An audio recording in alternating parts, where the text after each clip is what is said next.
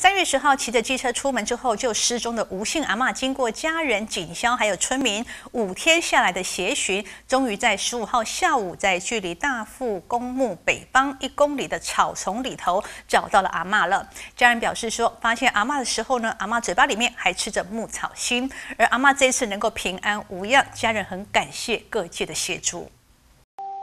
在大农大埔西侧这一大片荒烟蔓草中，即便多日都遍寻不着阿妈的踪影，家人、警校与村民仍不放弃。十五号下午，终于传出了好消息：台九线救难协会成员在距离阿妈机车停放的位置北方约一公里处的草丛中，发现了阿妈的身影。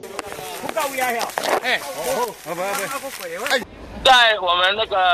呃机车往北推进之后一公里，躺在草丛里面了。十号当天下午，骑机车外出就失踪的吴姓阿嬷，家人与警消、村民便全力协寻。第二天，在光复大福公墓附近找到了阿嬷骑乘的机车后，搜救人员锁定范围，地毯式寻找，直到十五号顺利找到了阿嬷。家人表示，这五天阿嬷就以野草、牧草心来果腹，算是很虚弱，没有错，因为五天了嘛。嗯，他是靠吃那个牧草心啊、芦苇心在撑撑下来的。我们看到的时候，它嘴巴还含着。